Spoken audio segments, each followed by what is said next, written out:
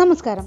പുരാണങ്ങളിൽ ദേവലോകത്തെ അമൃതകുംഭത്തിലെ അമൃത് ഒരു തുള്ളി ഭൂമിയിൽ പതിച്ചതും ബ്രഹ്മദേവനാൽ നിർമ്മിക്കപ്പെട്ട പ്രദേശമെന്നും നാല് യുഗത്തിലും നിലനിൽക്കുന്ന ക്ഷേത്രമാണെന്നും ഇവിടെ ശ്രീപരമേശ്വരൻ രാമരാവണ യുദ്ധത്തിനു മുമ്പ് ശ്രീരാമചന്ദ്രന് പകർന്ന ഉപദേശമാണ് ശ്രീകൃഷ്ണൻ മഹാഭാരതത്തിൽ അർജുനന് നൽകിയ ഗീതോപദേശമെന്ന് സ്ഥലപുരാണത്തിൽ പരാമർശിക്കുന്ന ഒരു ശിവക്ഷേത്രത്തെക്കുറിച്ച് മനസ്സിലാക്കാം. ക്ഷേത്രം അരുൾമികു സ്നേഹവല്ലി സമേത ആദിരത്നേശ്വരർ തിരുക്കോവിൽ തിരുവാടാനെ. ഈ ക്ഷേത്രം തമിഴ്നാട്ടിൽ രാമനാഥപുരം ജില്ലയിൽ രാമനാഥപുരത്തിനടുത്ത് തിരുവാടാനെ എന്ന സ്ഥലത്താണ് സ്ഥിതി ചെയ്യുന്നത്. ഇവിടെ ഭഗവാൻ ശ്രീപരമേശ്വരൻ ആദിരത്നേശ്വരർ അജഗജേശ്വരർ ആടാനേനാഥർ എന്നീ നാമങ്ങളിലും ദേവി പാർവതി സ്നേഹവല്ലി അൻപായിരവല്ലി എന്നീ നാമങ്ങളിലും കുടികൊള്ളുന്നു. വൃക്ഷം സ്ഥലം മൂർത്തി തീർത്ഥം എന്നിങ്ങനെ എല്ലാ തരത്തിലും പ്രശസ്തമായ പുരാതന ക്ഷേത്രമാണിത്. പ്രത്യേകിച്ചും കർമ്മവിനയാൽ വരുന്ന മുജ്ജന്മ പാപങ്ങൾ തീർത്ത് മുക്തി അരുളുന്ന സ്ഥലമാണിത്. തമിഴ്നാട്ടിലെ പ്രശസ്ത ശിവഭക്തരായ അറുപത്തിമൂന്ന് നായന്മാരുടെ കവിതാ സമാഹാരമായ ദേവാരമ്പാടിൽ ഉൾപ്പെട്ടിട്ടുള്ള ഇരുന്നൂറ്റി എഴുപത്തിനാല് ശിവക്ഷേത്രങ്ങളിൽ നൂറ്റി തൊണ്ണൂറ്റൊമ്പതാമത്തേതും പാണ്ടിനാട്ടിലെ പതിനാല് ശിവക്ഷേത്രങ്ങളിൽ ഒമ്പതാമത്തേതുമാണ് ഈ ക്ഷേത്രം. അറുപത്തിമൂന്ന് നായന്മാരിൽ ഒരാളായ തിരുജ്ഞാന സംബന്ധർ ഈ ക്ഷേത്രത്തിലെ ഭഗവാനെപ്പറ്റി പതികവും അരുണഗിരിനാഥർ ഇവിടത്തെ മുരുകനെപ്പറ്റി തിരുപ്പുകഴിലും പാടിയിരിക്കുന്നു. ശ്രീരാമൻ വരുണൻ വാരുണി സൂര്യൻ അഗസ്ത്യർ പഞ്ചപാണ്ഡവർ കാമധേനു മാർക്കണ്ഡേയ മഹർഷി എന്നിങ്ങനെ പല ദിവ്യരും ഇവിടെ ഭഗവാനെ പൂജിച്ചതായി ഐതിഹ്യമുണ്ട്. ഈ പ്രദേശത്ത് അറുപത്തിനാല് വക ഔഷധ സസ്യങ്ങളും അമ്പത്തിനാല് വക ദേവമലറുകളും ഉള്ളതായി പുരാണങ്ങളിൽ പരാമർശിച്ചിരിക്കുന്നു. ഈ ക്ഷേത്രത്തിലെ ഭഗവതി സ്നേഹവല്ലി അമ്മൻ ശുക്രന്റെ അതിദേവതയാകിയാൽ ശുക്രദോഷ പരിഹാര സ്ഥലവും കൂടിയാണ് ഈ ക്ഷേത്രം. തിരുവണ്ണാമല വൈത്തീശ്വരൻ കോവിൽ എന്നിവിടങ്ങളിൽ നാഡീജ്യോതിഷം നോക്കുന്നവർ ഇവിടെ വന്ന് പരിഹാര കർമ്മങ്ങൾ ചെയ്യുന്നു. സൂര്യപൂജ നടക്കുന്ന തമിഴ്നാട്ടിലെ ക്ഷേത്രങ്ങളിൽ ഇതും ഒന്ന്. മാസിമാസത്തിൽ ഭഗവാന്റെയും ദേവിയുടെയും പാദങ്ങളിൽ സൂര്യൻ അർച്ചന ചെയ്യുന്ന പുണ്യക്ഷേത്രമാണിത്. പഞ്ചപാണ്ഡവരിൽ അർജുനൻ ഭഗവാനെ പ്രാർത്ഥിച്ച് പാശുപതാസ്ത്രം നേടി. പക്ഷേ അത് എങ്ങനെ പ്രയോജനപ്പെടുത്തണമെന്നറിയാൻ ഇവിടെ ശിവഭഗവാനെ പൂജിച്ചതായും ഭഗവാൻ ഉപയോഗക്രമങ്ങൾ അർജുനന് ഉപദേശിച്ചതായും പറയപ്പെടുന്നു. അർജുനൻ പ്രതിഷ്ഠിച്ച സോമസ്കന്ദർ ഈ ക്ഷേത്രത്തിലുണ്ട്. ശ്രീമൻ മഹാവിഷ്ണു ശ്രീരാമാവതാരം എടുത്ത് രാവണനെ വധിക്കാനായി ലങ്കയിലേക്ക് പോരിന് പോകുന്നതിന് മുമ്പ് ഈ ക്ഷേത്രത്തിലെത്തി ഭഗവാനെ പൂജിച്ച് ഉപദേശവും രുദ്രാക്ഷവും കൈപ്പറ്റിയതായി പുരാണങ്ങളിലുണ്ട്. ഈ ഉപദേശമാണ് പിന്നീട് ശ്രീകൃഷ്ണാവതാരത്തിൽ മഹാഭാരത യുദ്ധത്തിൽ ഭഗവാൻ ശ്രീകൃഷ്ണൻ അർജുനന് ഉപദേശിച്ച ഗീതോപദേശം എന്നാണ് പറയുന്നത്. ഈ ക്ഷേത്രത്തെക്കുറിച്ചുള്ള ഐതിഹ്യങ്ങൾ ഇങ്ങനെയാണ്. സൂര്യദേവന് താനാണ് ലോകത്തിൽ ഏറ്റവും പ്രകാശമുള്ളയാൾ എന്നൊരു ഗർവുണ്ടായതിനെ തുടർന്ന് ശിവഭഗവാന്റെ ശിരസിലേക്ക് തന്റെ പ്രകാശം ശക്തിയായി വീഴ്ത്തി. കോപിഷ്ഠനായ നന്ദി ആ പ്രകാശം ഉൾക്കൊണ്ടു.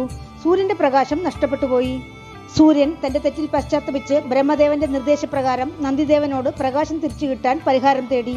നന്ദി സൂര്യദേവനോട് കാമധേനു പൂജിച്ച ഇവിടെയുള്ള സ്വയംഭൂ ശിവലിംഗത്തിന് നീലരത്നങ്ങൾ കൊണ്ട് പീഠം സമർപ്പിച്ച് പൂജിക്കാൻ നിർദ്ദേശിച്ചു. സൂര്യൻ ഇവിടെ തന്റെ പേരിലൊരു തീർത്ഥം സൃഷ്ടിച്ച് സാളഗ്രാമത്താൽ നിർമ്മിതമായ വില്ലുമരത്തിനടിയിലെ സ്വയംഭൂ ശിവലിംഗത്തിന് നീലരത്നങ്ങൾ കൊണ്ട് പീഠം സമർപ്പിച്ച് പൂജിച്ചു.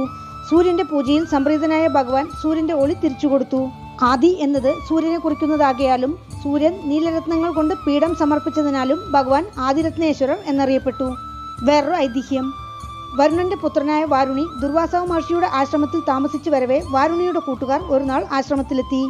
ദുർവാസാവ് മഹർഷി അന്നേരം ധ്യാനത്തിലിരിക്കുകയായിരുന്നു. വാരുണിയുടെ കൂട്ടുകാർ ആശ്രമത്തിൽ അങ്ങോളം ഇങ്ങോളം ഓടി നടന്ന് അവിടെയുള്ള പൂക്കളും ഫലങ്ങളും വീശിയെറിഞ്ഞ് ആസ്വദിച്ചു. ആശ്രമത്തിലെ ശാന്തമായ അന്തരീക്ഷത്തിന് കളങ്കം വരുത്തി. ദുർവാസവ മഹർഷി ശബ്ദം കേട്ട് ധ്യാനത്തിൽ നിന്നുണർന്ന് കോപിഷ്ഠനായി വാരുണിയോട് നീ വരുണന്റെ മകനായിരുന്നിട്ടും ആശ്രമത്തിന് പൊരുത്തമില്ലാത്ത കാര്യങ്ങൾ ചെയ്തു. അതിനാൽ പൊരുത്തമില്ലാത്ത ആടിന്റെ തലയും ആനയുടെ ഉടലുമായി നീ ജീവിക്കേ എന്ന് ശപിച്ചു.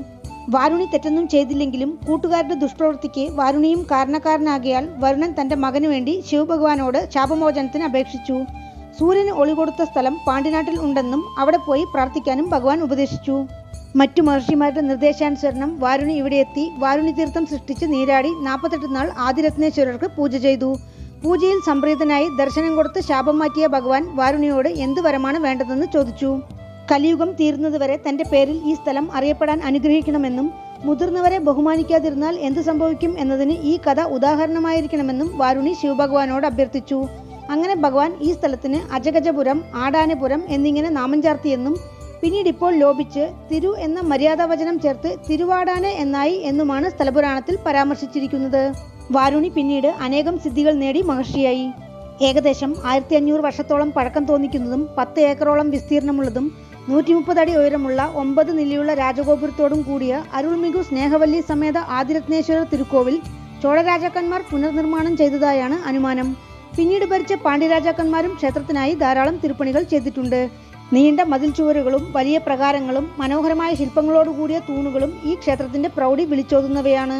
ക്ഷേത്രത്തിൽ കൊടിമരം ബലിപീഠം നന്ദി ഭഗവാൻ കടന്ന് അകത്ത് പ്രവേശിച്ചാൽ വലിയ നീളമുള്ള മണ്ഡപത്തിന്റെ ഒരറ്റത്ത് കരുവറിയിൽ ശ്രീ പരമേശ്വരൻ ആദിരത്നേശ്വരർ എന്ന നാമത്തിൽ സ്വയംഭൂ ശിവലിംഗമായി കിഴക്ക് ദർശനമായി അരുൾ ചൊരിയുന്നു. സാളഗ്രാമത്തിൽ തീർത്ത ഈ ശിവലിംഗത്തിന്റെ പീഠം ഐതിഹ്യപ്രകാരം സൂര്യൻ സമർപ്പിച്ച നീലരത്നങ്ങൾ കൊണ്ട് അലങ്കൃതമാണ് ഉച്ചികാല പൂജയിൽ ക്ഷേത്രത്തിൽ ഭഗവാന് പാലഭിഷേകം നടക്കുമ്പോൾ ശിവലിംഗം നീലനിറത്തിൽ തിളങ്ങുന്നത് ഭക്തർക്ക് ദർശിക്കാം. മുജ്ജന്മ പാപങ്ങൾ തീർന്ന് മോക്ഷപ്രാപ്തി അരുളുന്ന സ്ഥലമെന്നതിനാൽ പുരാണങ്ങളിൽ ഈ പ്രദേശത്തിന് മുക്തിപുരം എന്നും നാമമുണ്ട്. ദേവി പാർവതി പ്രത്യേകം സന്നിധിയിൽ സ്നേഹവല്ലി എന്ന നാമത്തോടെ പുഞ്ചിരിച്ചുകൊണ്ട് കിഴക്ക് ദർശനമായി നിൽക്കുന്ന പ്രതിഷ്ഠയാണ്.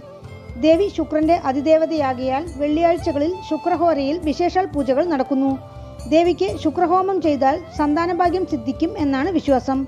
ശുക്രദശ ശുക്രന്റെ ഗോചരകാലം എന്നിവ ശുഭമാക്കാനും ശുക്രദോഷങ്ങൾ മാറ്റാനും ഭക്തർ ഇവിടെ എത്തി പൂജകളിൽ പങ്കുകൊള്ളുന്നു. ഈ ക്ഷേത്രത്തിന്റെ എതിരിലാണ് വരുണതീർത്ഥം. സൂര്യപുഷ്കരണി കോവിലിനുള്ളിലാണ്. കോവിലിന് പടിഞ്ഞാറ് വാരുണി തീർത്ഥം എന്ന മംഗളനാഥർ കുളവും തെക്ക് അഗസ്ത്യ തീർത്ഥവും മാർക്കണ്ഡേയ തീർത്ഥവും മണിമുത്താറുമാണ്. ഈ ക്ഷേത്രത്തിൽ പ്രധാന ദേവതകളെ കൂടാതെ വിനായകർ വള്ളിദേവിയാനി സമേതം മുരുകൻ ബ്രഹ്മാവ് ഉഷാപ്രത്യക്ഷ ദേവിമാരോടൊപ്പം സൂര്യൻ ലിംഗോദ്ഭവർ അറുപത്തിമൂന്ന് നായന്മാർ ദക്ഷിണാമൂർത്തി വർണലിംഗം വിശ്വനാഥർ വിശാലാക്ഷി ചണ്ഡികേശ്വരർ നടരാജർ നാൽവർ ഭൈരവർ ചന്ദ്രൻ ഭൃഗുലിംഗം ഗോമതീശ്വരർ ഭൂദേവി ശ്രീദേവി സമേത മഹാവിഷ്ണു ദുർഗ സപ്തമാതാക്കൾ കൽവില്ലു മരത്തിനടിയിൽ ശിവലിംഗം എന്നിങ്ങനെ ധാരാളം ഉപപ്രതിഷ്ഠകളുമുണ്ട്. ക്ഷേത്രവൃക്ഷം പാരിജാതം കുരുക്കത്തി കടമ്പ് വില്വം. ക്ഷേത്രതീർത്ഥം സൂര്യതീർത്ഥം വരുണതീർത്ഥം അഗസ്ത്യതീർത്ഥം മാർക്കണ്ഡേയ തീർത്ഥം വാരുണി തീർത്ഥം കാമധേനു തീർത്ഥം ഈ ക്ഷേത്രവൃക്ഷത്തിനടിയിലെ മണ്ണെടുത്ത് ക്ഷേത്രതീർത്ഥത്തിലെ ജലത്തിൽ ചലിച്ച് ദേഹത്ത് തടവിയാൽ രോഗങ്ങൾ പറന്നുപോകും എന്നത് ഇവിടെയുള്ള ഭക്തരുടെ അചഞ്ചലമായ വിശ്വാസമാണ്. ആഗമവിധി പ്രകാരമുള്ള ആറുകാല പൂജകളാണ് ക്ഷേത്രത്തിൽ അനുഷ്ഠിക്കുന്നത്. പ്രധാന ദിവസങ്ങളായ അമാവാസി പ്രദോഷം ശിവരാത്രി തൃക്കാർത്തിക വിനായക ചതുർത്ഥി എന്നിവ കൂടാതെ വൈകാശി വസന്തോത്സവം പത്തുനാളും ആടിപ്പൂര തിരുവിഴ പതിനഞ്ച് നാളും മുഖ്യ ഉത്സവമായി ക്ഷേത്രത്തിൽ കൊണ്ടാടുന്നു. പൂജാ സമയം. രാവിലെ ആറര മണി മുതൽ ഉച്ചയ്ക്ക് പന്ത്രണ്ട് മണി വരെ. വൈകുന്നേരം നാലര മണി മുതൽ രാത്രി എട്ട് മണി വരെ. ക്ഷേത്രത്തിലേക്ക് എത്തുവാൻ ശിവഗംഗയിൽ നിന്ന് അമ്പത് കിലോമീറ്റർ കാരക്കുടിയിൽ നിന്ന് ഇരുപത് കിലോമീറ്റർ ദേവക്കോട്ടയിൽ നിന്ന് പത്ത് കിലോമീറ്റർ. അടുത്തുള്ള റെയിൽവേ സ്റ്റേഷൻ ദേവക്കോട്ട രാമനാഥപുരം. വീണ്ടും അടുത്ത വീഡിയോയിൽ കാണാം. നന്ദി.